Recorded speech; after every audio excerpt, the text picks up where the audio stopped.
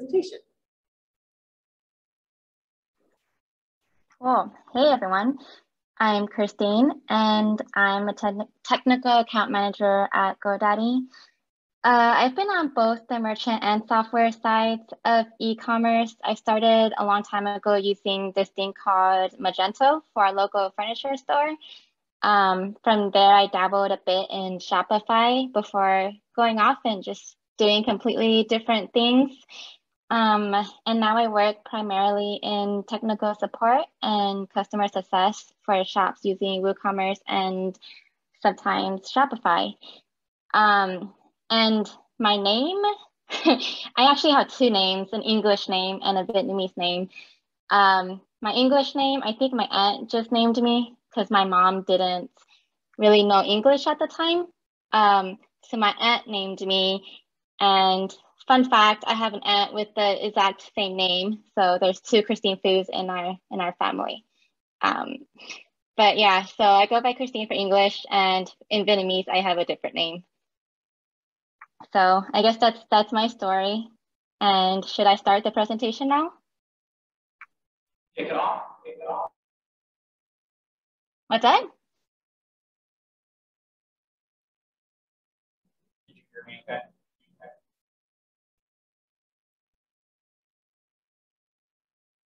I can't I can't hear. Good? All right, cool. I'm gonna share my screen.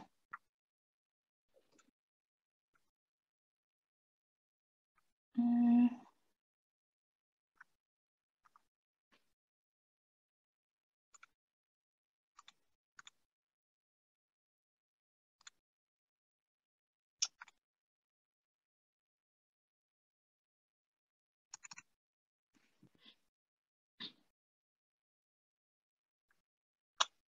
Um, can everybody see my screen? Yeah, we can. Yeah. Okay, what, what do you see? Because I have two monitors and I want to make sure you're seeing the right one. We're seeing the right one. All right, cool. Cool. So, hello and welcome. Welcome to start with the big three when setting up your WooCommerce shop. Um, I'm here to help you set up payment gateways, taxes, and shipping options all essential things you need to set up when selling online. And well, I already introduced myself, so I'm just gonna skip over this and we could go over what we're gonna cover today. So we're gonna start off with the basics of payment gateways. What are payment gateways and how do you choose one? I'm gonna show you some helpful extensions that you could use to set up payments for your shop. Um, and then we're gonna go over the fastest ways to set up taxes because no one likes to spend time on taxes. Uh, I definitely don't like to spend time on taxes. Um, and then I'm gonna show you some useful extensions and strategies for shipping. Uh, that would be helpful if you have like a physical store that you need to ship stuff out of. Um, then at the end, we'll have a Q&A session. And these are all um, really complex topics that could each have their own presentation. And today we're only going to go over like the basics and fundamentals to help you get started because going into each of them would just take a really long time. So let's talk about payment gateways. Um, what are payment gateway plugins? And I think to understand what the plugins do, you have to understand what a payment gateway does. Um, so imagine you're at your favorite grocery store and you're checking out and you're using your credit or debit card um, like on the little machine where you where you check out. That's called the payment terminal. And on the terminal, when you have your card inserted, it says something like processing, do not remove your card. So what's happening there is um, the device is taking your payment details and it's sending it to a payment gateway. And then that payment gateway decides if your transaction should be approved or declined. And it sends that information back to the device so you could finish your purchase. So a payment gateway plugin, it basically replaces that physical device for your online shop. So when a customer goes to check out, instead of tapping, tapping their card or inserting it or sliding it on a physical device, they're entering in their card number and then they submit the payment. And it's basically the same process. It collects your payment details and sends it to the payment gateway. And then the payment gateway connects back to your store so you could complete your purchase. Um, so that was a lot. I, I hope uh, you guys are able to follow that. Um, but basically a payment gateway plugin connects your shop to a payment gateway so you can accept credit and debit card payments. And if you don't have one, you, you'll lose customers. Um, if customers don't have a way to check out, then they're gonna get frustrated. And if they're not and if they're like a first time customer, then there's a big chance that, that you'll probably lose them forever because you've lost that trust um, by not giving them a way to check out. So there's a lot of payment gateway plugins. Um, these are a few of them. Um, the biggest one is PayPal. It's like an all-in-one solution because it's also a payment gateway and processor. Uh, it's a it's a big name. Most people know PayPal. Uh, most people trust PayPal, so it's a good option to have for your customers because if it's especially if it's a first time customer and they don't feel comfortable like inputting their credit card information into your site, um, they might feel more comfortable doing it through PayPal. Um, so yeah, it's a good option. Another one is authorize.net. Uh, that's a common one amongst merchants. Um, and our very own GoDaddy Payments, also known as Poynt. Um, I've been testing that one a few for a few days, and it's it's pretty good. Um, I've set up a lot of payment gateways, and it, some of them are really annoying. And uh, GoDaddy Payments has a pretty good experience in my opinion. Um, I'm not just saying that because I work at GoDaddy. It really is a pretty uh, good experience. And there's a lot of updates too because we have more control over it. So pretty soon merchants are going to be able to connect their physical store with their online store through GoDaddy payments. Um, and you're going to be able to do that easier. And if anybody has ever done that before, you know how hard it is to connect your physical store to your online store. Um, so that's a big plus. But yeah, there's there's a lot of other ones. So that brings us to how to choose the payment gateway. Um, there's there's so many and and there's a lot of things to consider. Um, it really it really depends on your business needs and what you anticipate your customer needing and your budget. Um, I would also look for things like is the support good? Is it easy to set up? What fees are there? Because usually there's multiple fees. For example, if you have a separate payment gateway and processor, there may be, you know, there's probably going to be fees for the gateway and the processor. So those are things to consider. Um, and do you want like an all-in-one solution or do you want it to be separate? it's it really depends on your store and what you need. So I recommend going through like this list of questions to help you choose. Um, it's it's really important to get that set up correctly in the beginning.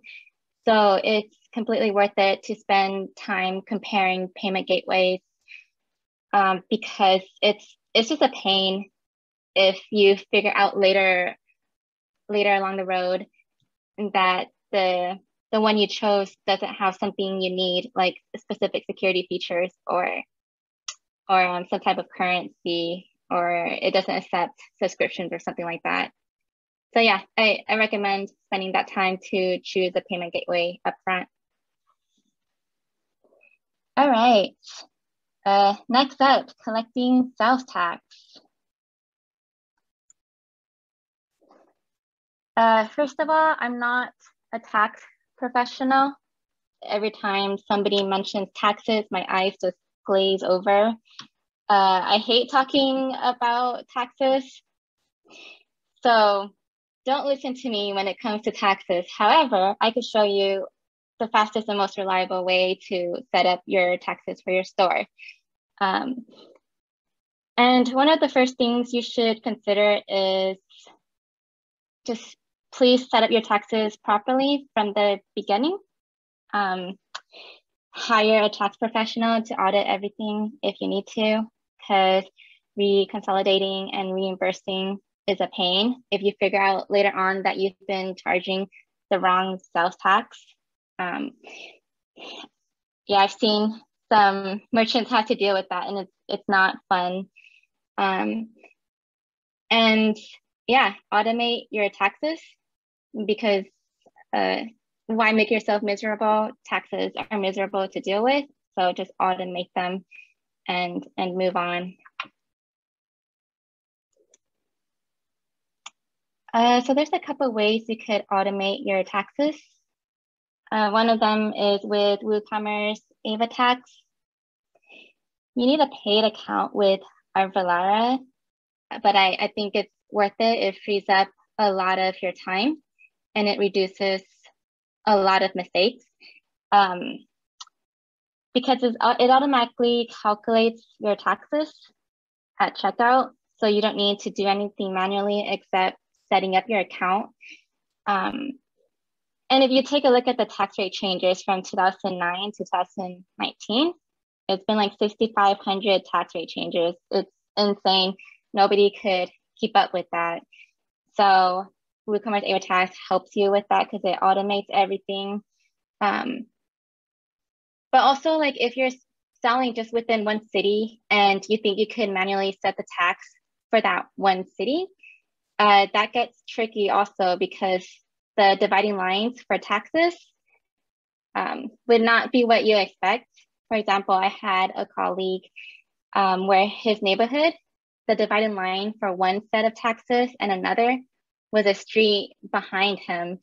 So in that situation, manually setting your taxes by city um, won't work. And it gets even more complex if you sell across states or like cross border. Um, yeah, specifically if you sell internationally, it's a pain to set up, but AvaTax has like a cross border feature that you could just uh, set up and it just basically does everything automatically for you. And you could also report your taxes um, in the same in the same Avalara account. So it's kind of like a complete sales tax management system, which is pretty sweet because sales tax is really complex.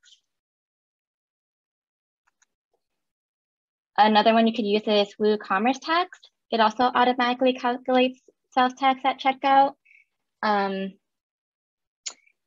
it has less features than AvaTax. Uh, like it doesn't have cross-border, I think, um, or address validation or reporting and submission, things like that. But it really, it depends on your store. Um, yeah, it depends on you need what you need. Do you need like a complete sales tax management system, or do you just want something really light because you're only selling to one city or something? Um, it really depends on what you need, but I recommend just just to automate your taxes either way. You could just set it and forget it and and move on with life.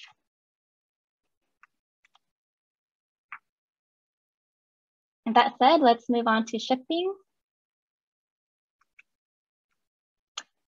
And there's things you should consider for shipping also, like are you shipping internationally? Um, do you want to provide free shipping or discounted shipping or flat rate shipping? Uh, because depending on your answers to those, you might need like a like a plugin that gives you a real-time shipping fees. Or if you just do flat rate shipping, which um, some mer merchants opt to do just because it's less complex, um, then you don't really need a plugin for that. You could just set a flat rate with within WooCommerce built-in features. but again, it, it just, it depends what you need. You just got to find what works for you and what you anticipate your customers asking for.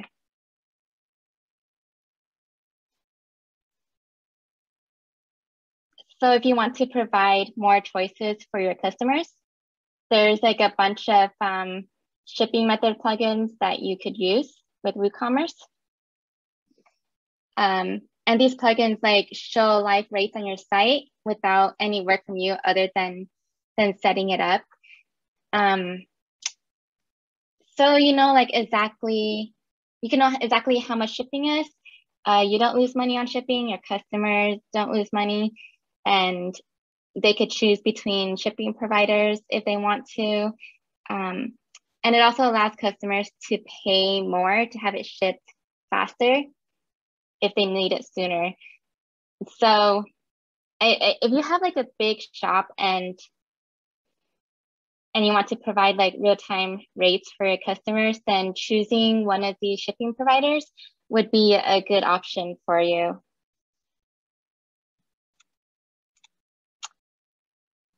Another essential thing for shipping is shipment tracking. Um, all customers these days expect to be able to monitor shipping. Um, it's just an essential part of, of online shopping. If you're shopping online, there could be a lot of like uncertainty. So this also gives customers confidence that their item is coming. Uh, it builds trust, it increases customer happiness. Um, and for merchants, it lets you know where the package is if something goes wrong. Um, it could also reduce like support requests because like if customers don't know where their package is, they'll probably reach out to you. Um, I know I've done that when I haven't received like a shipment tracking email. So it's it's basically a, an essential part of online shipping, and I, I recommend getting some sort of shipment tracking plugin for your site. Another thing you could do is postcode address validation. Um, it simplifies your checkout process by having your customers look up addresses during checkout. It makes checkout faster and more accurate. Um, you know that the thing you're shipping out is more likely to make it to the right place. Um, there's no typos. So basically, how it works is a customer could type in like the first few letters of their address, and then the address lookup pops up and then they could like choose the correct form of their address.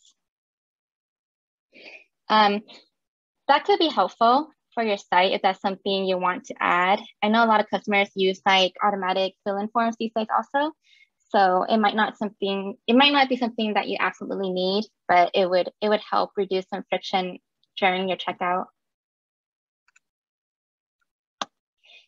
Another one is uh, Local Pickup Plus, which became really popular during the pandemic out of necessity, but now it's just kind of become like a different, another option for customers to pick up. Um, so basically what this does is it allows your customer to pay online and pick up at the store. You also see it referred to as um, as a click and collect also usually. Um, and I mean, that's that's just helpful to give customers another option because maybe they don't want to pay for shipping or maybe they don't have time to go to a store and browse. Um, it's convenient and it's the popularity of this is only growing. It's not going it's not going anywhere. So it's a good option for your store if you're able to provide um, those packages locally. I know for myself, like I've used a local pickup a lot just to avoid shipping uh, costs in a lot of cases, or if I want to get my product faster. Um, it's also great for restaurants and like any food type of business. Um, so yeah, it's it's a good option to have your site if, if you're able to do that. Hmm, and that's it. That went by faster than I thought it would. Anybody have any questions? That went by pretty fast. So if I missed something and you have questions, please let me know.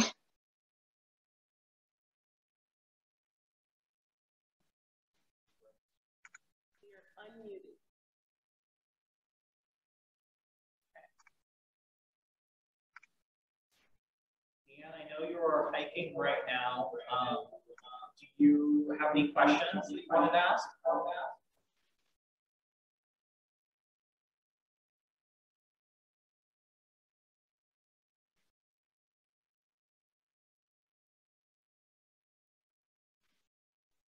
Christine, what's your favorite thing about WordPress About WordPress and or WooCommerce? and or WooCommerce. Ooh, um, well, if we're talking about WordPress in general, and I know there's some controversy around here, but I do really like the Gutenberg blocks. yeah, I know some people hate it, but I like if you need just like a simple site and you don't want to deal with troubleshooting, um, just using one of the default themes and just setting up the blocks how you want and be done with it. but I like WooCommerce for a lot of reasons. Um, it's just a really affordable way to have an online store compared to other options like Shopify, where there's a large monthly fee. Um, but I also know that WooCommerce, uh, it also gets confusing because there's so many plugins you could use and there's so many ways you could break your site, um, like with themes and updates. So yeah, I guess it's my favorite. The flexibility is my favorite thing, but also not my favorite thing.